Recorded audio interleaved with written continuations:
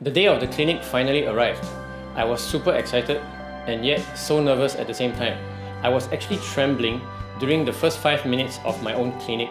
Anyway, I'm going to show you some highlights as well as a big blunder I made during the performance.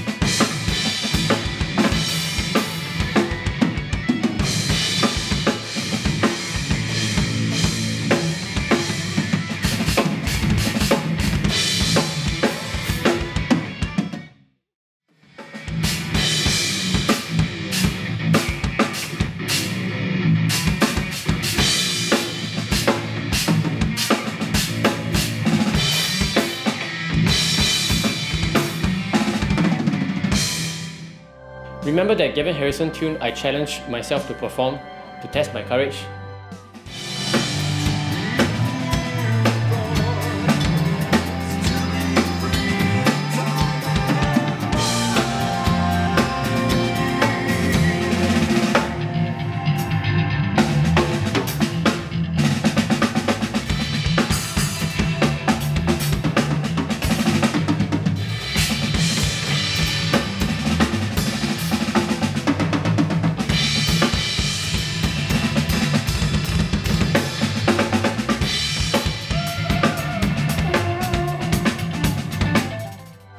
And just like that, the whole thing was over.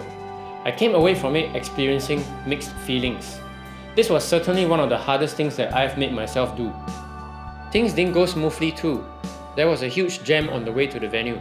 We were missing a bass drum lick at first and had to change the drum set. There was a slight issue with setting up the PA monitors, which had to go on the floor eventually.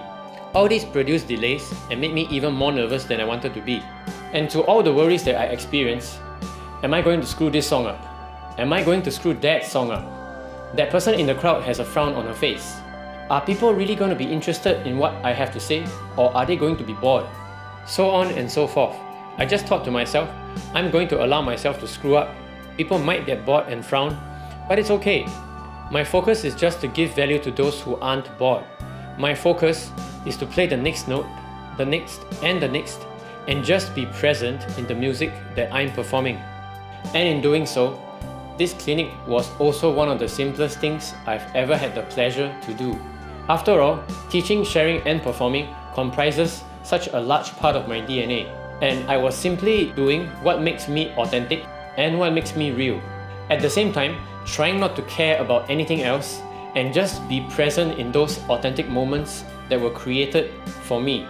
And that is the last thing I wanted to share with you this year. Thank you for allowing me to guide you and share what I love with you all through 2019. Hope to see you in 2020. Meanwhile, don't stop dreaming and don't stop drumming.